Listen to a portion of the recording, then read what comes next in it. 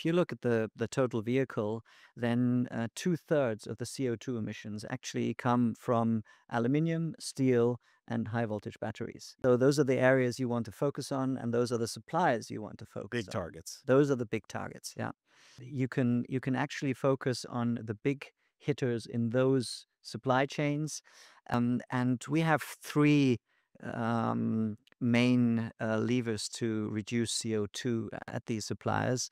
Uh, it's the use of green energy, um, it's increase of secondary materials, and it's uh, process optimization and innovation. So with these three levers, we are really effectively able to decarbonize the product. And if you look at the iX3, um, behind all the great technical features which you've talked about a lot, um, there are some pretty impressive uh, numbers in the uh, on the sustainability side.